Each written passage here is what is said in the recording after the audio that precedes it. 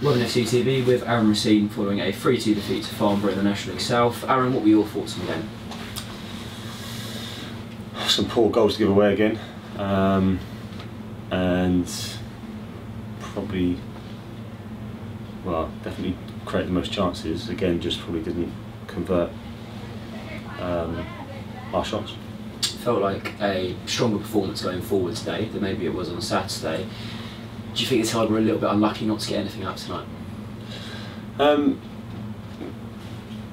you could say that, but sometimes if we keep gifting goals, I don't think you I don't think you deserve much if you keep gifting things away. If the teams are you know working hard to break you down, and you you create more chances, and you could be unlucky in that sense. But you say we're unlucky in terms of not getting anything from the game. If we gift goals away, then no, I don't think we're unlucky. What do you think exactly happened for those goals to be gifts?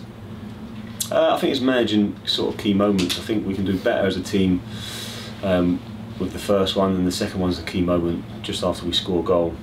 We go on the other end and concede. I think we need to manage that situation better, obviously right before half time. Similar sort of goals off that third one where they've come at us, but again, that's from attacking intent, and that's kind of the risk of that style of football. Yeah, the third one, that's that sort of thing's going to happen, um, especially when we're sort of going after the game a little bit. Um, again, probably still with an easy goal. Something we'll look back on, obviously, but yeah, I think when you're sort of going going at it like that in terms of the second half and trying to get get back into the game, those sort of things might happen, or you might leave yourself a bit more exposed at the back.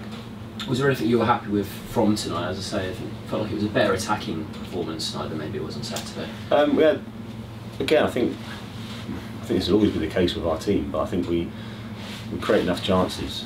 It's just maybe having that little bit of luck on the day. Maybe if we get an early chance, it takes a bit of pressure off us, maybe. Um, but in terms of yeah, going forward, yeah, we look good. And uh, looking well, uh, worse news really tonight was probably Ruben Austin getting that injury um, just after making a tackle. Any word on where he's at? No, no, we have to look at that on Thursday. Let it settle down for a couple of days and then see how it reacts. Positive element would be Brad Donegan coming off the bench and getting a first goal for the senior side as well. Um, looked like it's been coming for him got it tonight. Yeah, no, I think he, he done unbelievably well when he come on. I think he he looked a threat. He made some great runs. He picked up some great positions. He retained the ball really well. Like you said, he got a goal.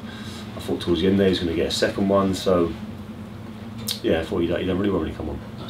Thank you, Aarran.